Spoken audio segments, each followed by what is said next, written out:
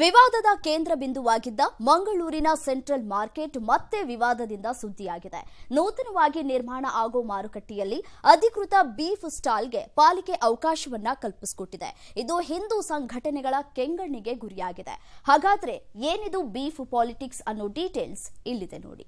ಮಂಗಳೂರಿನ ಸೆಂಟ್ರಲ್ ಮಾರ್ಕೆಟ್ನಲ್ಲಿ beef stall ಉಗ್ರ ಹೋರಾಟದ ಎಚ್ಚರಿಕೆ ನೀಡಿದ ಹಿಂದೂ ಸಂಘಟನೆಗಳು. ಮಂಗಳೂರಿನ ಸೆಂಟ್ರಲ್ ಮಾರ್ಕೆಟ್ ಅನ್ನೋದು ಒಂದು ವಿವಾದದ ಮಾರ್ಕೆಟ್. ಬ್ರಿಟಿಷರ ಕಾಲದಿಂದ ಇದ್ದ ಮಾರುಕಟ್ಟೆಯನ್ನು ನವೀಕರಣಗೊಳಿಸಲು ಕಳೆದ ವರ್ಷ ನೆಲಸಮ ಮಾಡಲಾಗಿತ್ತು. ಎಲ್ಲ ಅಂಗಡಿಯವರು ವಿರೋಧವನ್ನು ವ್ಯಕ್ತಪಡಿಸಿ ನ್ಯಾಯಾಲಯದ ಮೆಟ್ಟಿಲು ಕೂಡ ಏರಿದ್ರು. ಇದೀಗ ಪಾಲಿಕೆ ಸ್ಮಾರ್ಟ್ ಸಿಟಿ ಯೋಜನೆಯಡಿ ನೂರ ಹದಿನಾಲ್ಕು ಕೋಟಿ ವೆಚ್ಚದಲ್ಲಿ ನೂತನ ಮಾರ್ಕೆಟ್ನ ಕಾಮಗಾರಿಯನ್ನು ಆರಂಭಿಸಿದ್ದು ನೀಲನಕ್ಷೆ ರೆಡಿ ಮಾಡಿದೆ. ಅದರಲ್ಲಿರುವ ಒಂದು ಅಂಶ ಹಿಂದೂ ಸಂಘಟನೆಗಳನ್ನ ಕೆರಳಿಸಿದೆ. ಹೊಸ ಮಾರ್ಕೆಟ್ನಲ್ಲಿ ಬರೋಬ್ಬರಿ ಒಂಬತ್ತು ಬೀಫ್ ಸ್ಟಾಲುಗಳು ಬರುತ್ತೆ ಅಂತ ನೀಲನಕ್ಷೆಯಲ್ಲಿ ನಮೂದಿಸಿರೋದು ಹಿಂದೂ ಸಂಘಟನೆಗಳ ಆಕ್ರೋಶಕ್ಕೆ ಕಾರಣವಾಗಿದೆ. ಜಿಲ್ಲೆಯಲ್ಲಿ ಸಾಕಷ್ಟು ಗೋಕಳ್ಳತನ, ಗೋಹತ್ಯೆ, ಅಕ್ರಮ ಕಸಾಯಿಖಾನೆಗಳು ಮಿತಿ ಮೀರಿ ನಡೀತಾ ಇದೆ. ಅದಕ್ಕೆ ಬೆಂಬಲ ಎಂಬಂತೆ ಇದೀಗ ಪಾಲಿಕೆಯೇ ಬೀಫ್ ಸ್ಟಾಲ್ ಪ್ರಸ್ತಾವನೆಯನ್ನ ಸಲ್ಲಿಸಿದ್ದು ಸರಿಯಲ್ಲ.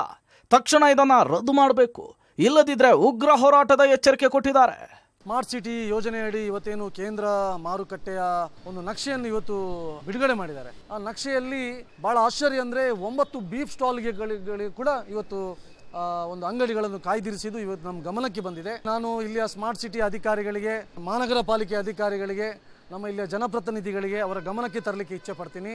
ಈಗಾಗಲೇ ದಕ್ಷಿಣ ಕನ್ನಡ ಜಿಲ್ಲೆಯಲ್ಲಿ ಗೋಕಳ್ಳತನ ಗೋಹತ್ಯೆ, ಅಕ್ರಮ ಕಸಾಯಿಖಾನೆಗಳು ಮಿತಿಮೀರಿಯಾಗಿ ನಡೀತಾ ಇದೆ. ಇದರ ಮುಂದುವರಿದ ಭಾಗವಾಗಿ ಇವತ್ತು ನೀವು ಒಂಬತ್ತು ಬೀಫ್ ಸ್ಟಾಲ್ಗಳಿಗೆ ಈ ಹೊಸ ನಿಮ್ಮ ಮಾರುಕಟ್ಟೆಯಲ್ಲಿ ಅದಕ್ಕೆ ಪ್ರಸ್ತಾವನೆ ಸಲ್ಲಿಸಿದ್ದು ಇದು ಸರಿಯಲ್ಲ. ಅದಕ್ಕೋಸ್ಕರ ಇದನ್ನು ತಕ್ಷಣ ಏನು ಪ್ರಸ್ತಾವನೆಯಲ್ಲಿ ಆ ಸ್ಟಾಲ್ಗಳನ್ನು ನೀವು ಗುರುತಿಸಿದ್ದೀರಿ ಅದನ್ನು ತಕ್ಷಣ ನೀವು ರದ್ದು ಮಾಡಬೇಕು. ಗೋಹತ್ಯೆ ನಿಷೇಧದ ಬಗ್ಗೆ ಮಾತನಾಡುವ ಬಿಜೆಪಿಗರೇ ಈ ರೀತಿ ಮಾಡಿರೋದು ಯಾಕೆ ಎಂಬುದು ಹಿಂದೂ ಸಂಘಟನೆಗಳ ಪ್ರಶ್ನೆ. ಬೀಫ್ ಸ್ಟಾಲ್ ಕೈ ಬಿಡಬೇಕು ಅಂತ ಸ್ಥಳೀಯ ಶಾಸಕ ವೇದವ್ಯಾಸ ಕಾಮತ್ಗೆ ವಿಎಚ್ಪಿ ಬಜರಂಗ್ ದಳ ಮನವಿಯನ್ನು ಮಾಡಿದೆ.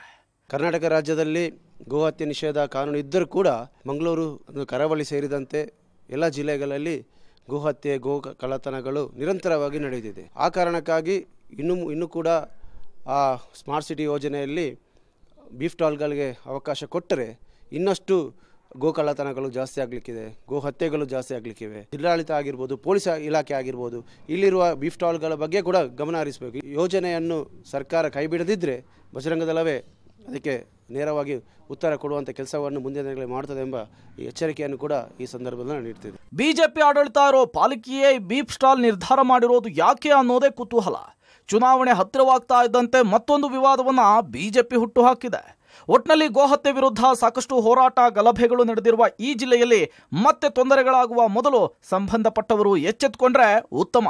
Sukhpal Polali, public TV, Mangaluru.